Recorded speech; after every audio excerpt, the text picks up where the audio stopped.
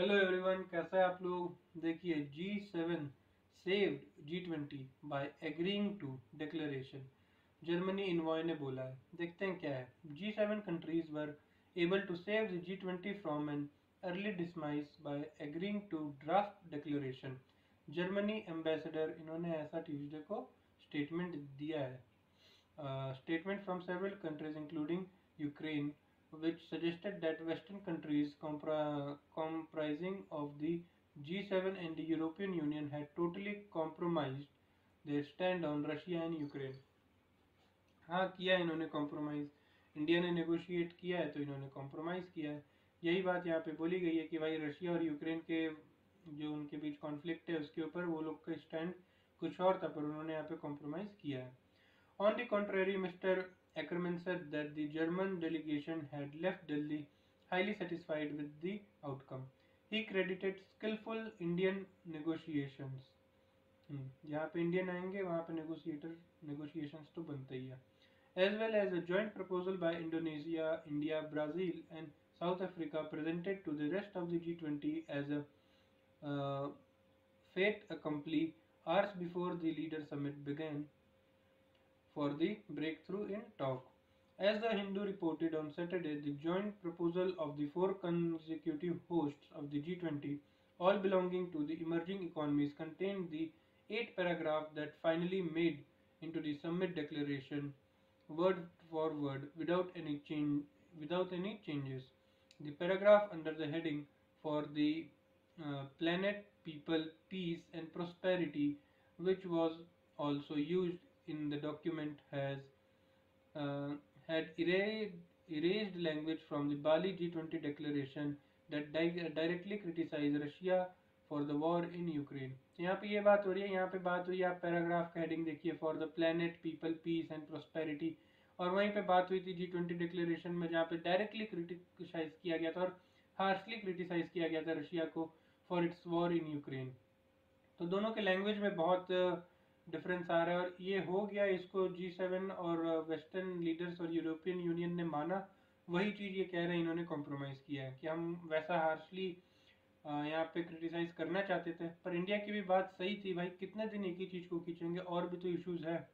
The G twenty is a very important forum it is one of the last fora that has everyone around the table and a summit without a declaration would have uh, meant that uh, to G20 इन्होंने बोला कि submit होना ज़रूरी था और उसका declaration आना ज़रूरी था। नहीं तो भाई, यहाँ पे कोई मतलब ही नहीं। ये ऐसा टेबल है जहाँ पे आसपास वर्ल्ड के सारे बड़े बड़े लीडर्स होते हैं। और यहाँ पे भी अगर हम लोग कंसेंसस ना ला पाए तो वो एक तरीके से हमारा फेलियर है। And it would have made it very difficult for Brazil to pick it up next year और अगर सही में, ये सही बात बोली इन्होंने, अगर अभी डिक्लेरेशन का जॉइंट स्टेटमेंट नहीं आता तो अगले साल ब्राज़ील क्या करता? वो उसके लिए भी बहुत टफ हो जाता। He said in ultimatum was delivered by Indian G20 Sherpa Amitabh Kant on September 8 overnight, asking the delegation to take it or leave it. मतलब यहाँ पे अमिताभ कांत जी ने मतलब बहुत एक फॉर्म अपना स्टैंड लिया है। बोला है कि लो, चाहे छोड़ दो, जो है यही है and if they had a problem with the wording the four emerging economies to come up with to have the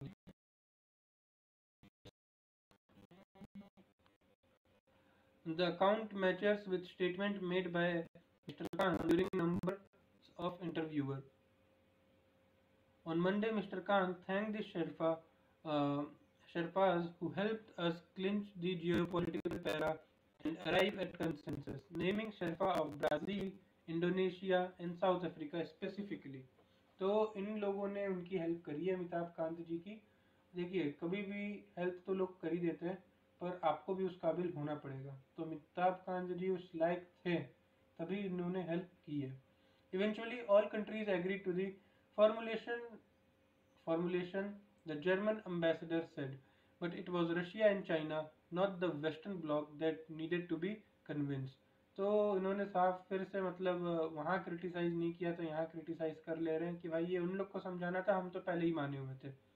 Russia was completely isolated mister Ackerman, uh, Ackerman said, countering comments by Russian Foreign Minister Sergei Lavrov, who had claimed a diplomatic win as Russia was not named directly for the conflict in the document. तो ये Russian के लिए ये बहुत अच्छी बात है भाई हमारा हमें क्रिटिसाइज नहीं किया गया और यहाँ पर यही ये कह रहे हैं कि भाई क्रिटिसाइज नहीं किया गया वो तो अलग बात है हमने उसको आइसोलेट कर दिया हमें मतलब भी नहीं ऐसी सी बात हो रही है तो ठीक है सबका अपना पॉइंट ऑफ़ व्यू है Yes, Ukraine would have loved to see Russia condemned more explicitly and for the war in Ukraine to be described as a war against Ukraine, as German would have liked that too. But one must see what is feasible. Unlike Bali, where two countries, Russia and China, were unhappy, we now have a text that is agreed by all the countries, Mr. Ackerman said.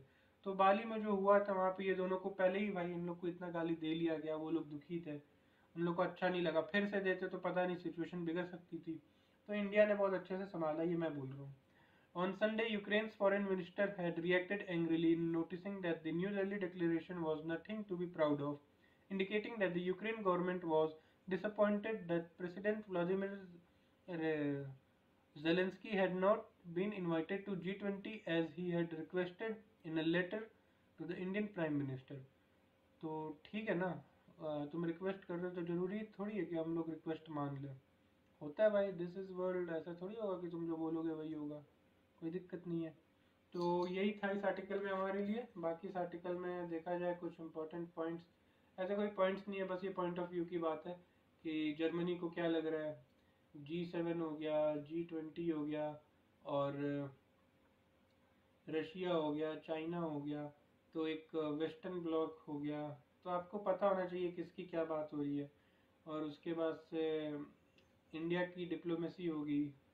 India diplomacy wins तो ये चीज़ बहुत अच्छी बात है। और उसके बाद से इंडिया वर्ड आ रहा है। इंडियंस वहाँ पे है तो नेगोशिएशन तो हो। गई और अमिताभ कांत जी, ठीक है, इनका बहुत बड़ा रोल रहा है कि जॉइंट डिक्लेरेशन आया है। मुझको ये स्टेटमेंट बहुत अच्छा लगा। टेक इट और लीव इट बहुत बड़ी बात है। अब देखिए, पिछले साल बाली और इंडिया और ब्राज़ील, अगले साल तो ये चीज़ एक सीक्वेंस पता होना चाहिए। यहाँ पे बहुत उन लोग का छीछा लीदी हुआ था, बोला गया था उल्टा सीधा, रशिया, चाइना को। यहाँ पे भाई ऐसा कुछ नहीं बोला गया डेवलपमेंट की बात हुई है। अब देखते हैं ब्राज़ील क्या करता है। ब्राज़ील के लिए हमने थोड़ा सिचुएशन ईज आउट कर दिया है ऑलरेडी जेलेंस्की कह रहा था कि बुला लो, हमने नहीं बुलाया भाई, क्यों बुलाए? तुम इसके मेंबर थोड़ी हो। और जब इंडिया को खैर, पहले उनकी ज़रूरत थी तो वो लोग नहीं थे यहाँ पर।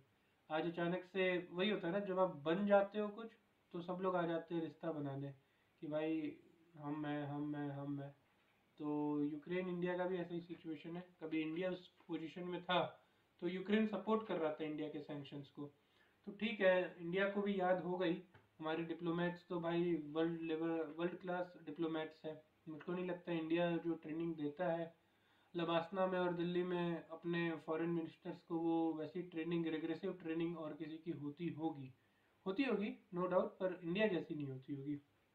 सो so, भारतीय हूँ उसका प्राउड है आप लोग भी प्राउड करिए और खूब मेहनत करिए अपने डिप्लोमेट की तरफ़। और आइडल बनाना है अमिताभ कांत जैसे लोगों को आइडल बनाओ। ये हीरो हीरोइन लोगों का कुछ नहीं है वो लोग रील के हीरो है ये रियल हीरोज है अपने। So thank you guys and please work hard to achieve all your dreams